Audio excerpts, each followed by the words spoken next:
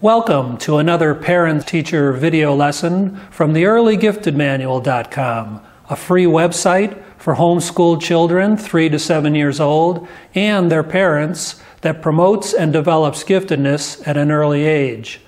I am Gary Blank, the creator of that site and your host and facilitator for this video and all of the videos in my educational program. As the video lessons are designed to work in conjunction with the program on my website, I ask you to, at some point, click on the URL link in the description box below, and this action will take you to the earlygiftedmanual.com. By doing that, you will be able to put this lesson and all of the video lessons here on my channel in the proper context of the total program that I am presenting to you and your child.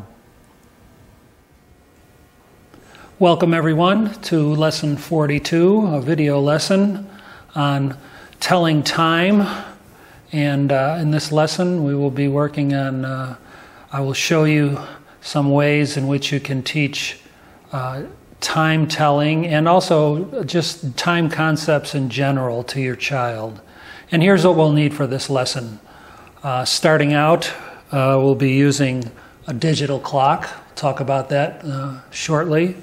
Also, we'll be using what's called an analog clock, and we'll be doing that uh, uh, later in the lesson. As you can see, obviously, quite a quite a difference between those two, and we'll talk about the differences uh, when we look at this.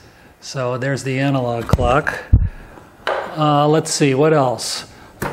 Piece of uh, paper and a, a, pencil, of course, uh, for for this lesson. Um, a digital timer. We're going to work. We will work with that at the at the towards the end of the lesson, and uh, and also if you have any other kinds of uh, time pieces, uh, we will also look at some of those at the end of the lesson. And if you have some, you could show those to your child also. So let's get started. I think uh, one thing I want to say before I get started, and I haven't mentioned this yet, this this lesson on telling time, it's really just a part of the entire lesson um, that I have on time telling and time concepts. So uh, to uh, to see supplemental material, so to speak, you can go to this lesson, lesson 42 on the early gifted manual.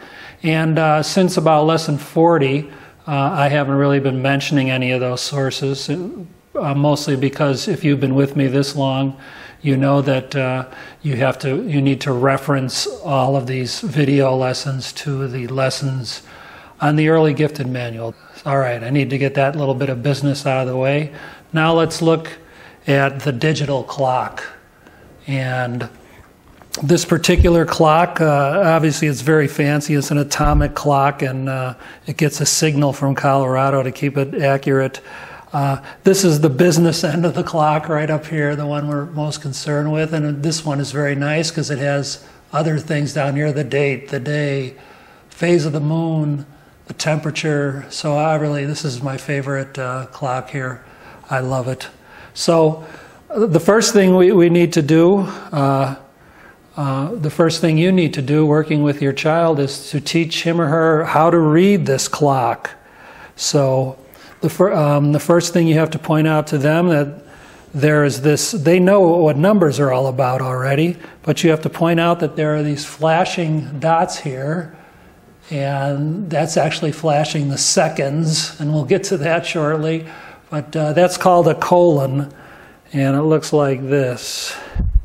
It's just two dots.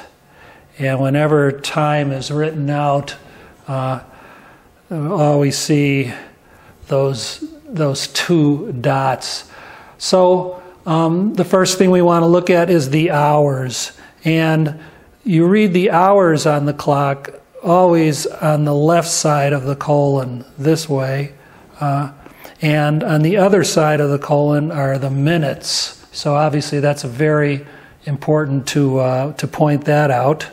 And when you are exactly on the hour, and uh, 10 minutes ago we were on the hour, it would have looked like this. And on the hour, I mean exactly on the hour, and four hours, and no minutes. And the word we use for that is o'clock. So you can tell your child that whenever we're exactly on the hour, meaning when these, these minutes digits here are on zero, zero, that is called o'clock. And the hours go up from 1 to 12. And that's one cycle. And then the cycle repeats itself, total of 24 hours in a day. We'll get to that shortly. And as you can see already, time concepts very, very challenging uh, for children, especially, uh, you know, our, our system of keeping time with this uh, two two cycles through the numbers, but uh, we'll talk about that in a minute here. So once again, a time on the hour. If there are two zeros over here, we call that o'clock, and we're 11 minutes past four, and at four o'clock. So. Um, and since since I'm on that uh, uh, train of thought, if you wanted to read this time, you would say four 11. So you read hours first and then the minutes. And you really don't have to add anything special to it. Uh, 4, 11. Reading it is as simple as that. 4 hours, 11 minutes. So, uh, minutes. Minutes uh, can go anywhere from, we already talked about this that's no minutes, that's on the hour, the o'clock. And they can go all the way to 59. And of course, um, there are 60 minutes in an hour. The reason why you never make it to 60 is because when you go to 59 and when you hit 60, the cycle starts over again. So you never have a uh, like a 460, you could have a 459. And once again, a very difficult uh, concept for a child to understand. So uh, let's see, let's try to uh, come up with some, some other times here. Um, I think I'm going to make one up here.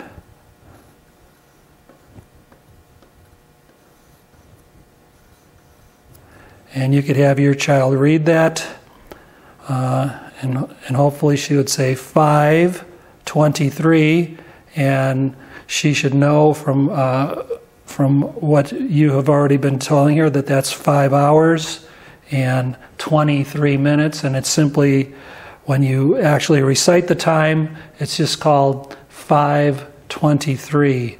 Well, sometimes um, we get in a situation where, and I'll show you what I mean. It might be, uh, let's see, it might be four minutes after seven, and your child might think it looks like this, but of course we know it doesn't. And we go back to this concept of zero as a placeholder. So, seven, four minutes after seven looks like this seven, and she would say it oh four. Uh, that placeholder is important, and we've run into that a few times now in our studies here. So, um, he or she shouldn't have too much trouble understanding this placeholder concept. And of course, that goes up to 09 and then finally 710. So, that also is a very important thing to point out to your child this idea that uh, minutes up to 9 needs that placeholder in there. Otherwise, uh, you really can't read it and it's it's uh, when you say it, it's seven oh four. That's the proper proper way to say it. So let me get a new sheet of paper here. So what's the smallest number you could see uh, on hours?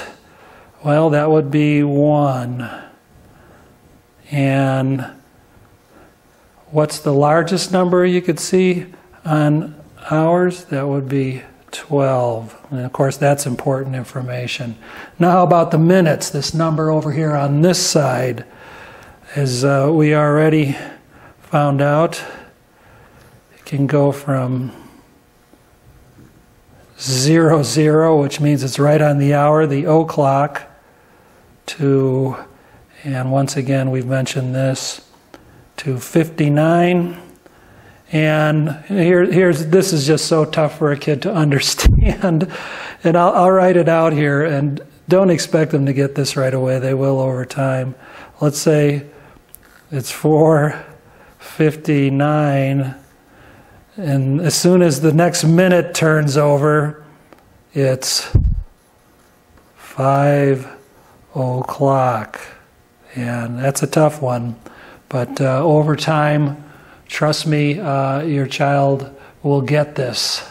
So, uh, as I mentioned earlier, um, there's two 12 hour cycles, and timekeeping is is cyclic. There's no way around it. So what you're going to have to do is you're going to have to talk about uh, to your child about what is a cycle and what is this time cycle all about? And it has to do a lot with our planet in relation to the sun and things like that. And, and you know, perhaps your child doesn't understand that yet, so you just have to leave it at that.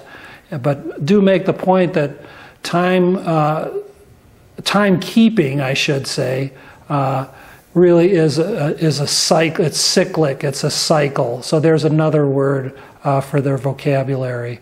And also, as I mentioned earlier, um, there are 24 hours in a day, and we'll talk about uh, you know days and months uh, a little later on in the lesson uh, and in the calendar lesson. But right now, uh, you can tell him or her that there are 24 hours in a day, and in each day there are two 12 hour cycles. And like I said, we'll, uh, I will show you techniques to explain this to your child in a, in a reasonably understandable way here uh, shortly. And now let's have a look at the analog clock. And as you can see, obviously, it tells time in a very different way than the digital clock, although it gives the same information. And um, uh, some people might say uh, these clocks are on the way out, and they're, they're probably right, but there's still many of them around, especially in schools. Uh, so uh, it, it, will be necessary for your child to uh, learn how to read an analog clock. And plus, real, another nice thing about the analog clock is, is that it really does show you the relationship between, uh, for example, hours and minutes and seconds. So it's really good uh, for that reason. So let's uh, let's I think let's start out here by just talking about uh, the different parts of the analog clock. Um, this whole thing here we call the face of the clock. And of course, these here are the numbers. They go from 1 to 12. These up here, these lines, and as you can see, there's some small numbers here. I'll talk about those in a while. I call these the ticks. I don't know if that's the, the proper uh, terminology for these, but that's what I call them, the ticks. And then we have the, the hands, these three uh, things, for lack of a better word, I, uh, we are called the hands. And let's wait for this to pass here, so because uh, the clock is running. This shorter hand is called the hour hand, and as you can see, it points directly to the hours, and that's what these numbers are the hours in the day. So you can show that to your child, say that to your child. The longer hand, the minute hand, goes all the way past the numbers and goes and points to these ticks. And that's how you can tell the difference. Uh, if your child can't remember between the two, it, it should be obvious by, by the fact that this is going past the number to the ticks. This is going just up to the number. Hour hand, minute hand, and second hand, which we can obviously see moving. And with the second hand, of course, you can tell your child that uh, this second hand makes one complete revolution of this circle in one minute. So um, one minute equals 60 seconds, and we'll get into that very shortly here, uh, what, what that's all about. There are 60 of those minutes in an hour, and um, like I said, uh, just shortly we will, we will talk about that. Another important thing to point out to your child is um, the directionality of the clock. And, and actually, uh, this has come into the nomenclature now. Uh, the clock, all the hands on the clock travel clockwise. And by that, I mean like this. So you, with your finger, you can show your child that it's going around. All three are going around in this direction. Um, even though they travel at different rates, and we'll get to that in just a second here. So that's very important. Clockwise, obviously, you can see the, the second hand going this way. And, and of course, there's a term called counterclockwise, but you should probably not talk about that right now because that will confuse uh, your child. So just stick with clockwise. So all the hands are traveling what they call clockwise, this way this way, and you can show her that. And if things weren't complicated enough for this poor young child who's trying to learn how to tell time, you can tell him that all three of these hands travel at different speeds. And uh, that's, that's just very difficult, and it will take some time uh, for, for your child to totally grasp that. Obviously, the second hand goes very quickly. You can see that uh, very obvious that's moving. And if you can direct her attention to the, the minute hand, uh, she can see that moving. It's not moving very fast, but you can see it move little by little. And the hour hand, let's face it, you really can't see the hour hand moving per se. It moves so slow that it's very hard to detect, but obviously uh, it gets around the, the clock. So uh, second hand, very obvious, fastest. Minute hand travels the next fastest. Hour hand travels the slowest. And as we get to the next section here of studying the clock, uh, uh, I will show you a way to, sh- uh, to show your child how that all makes uh, a fair amount of sense.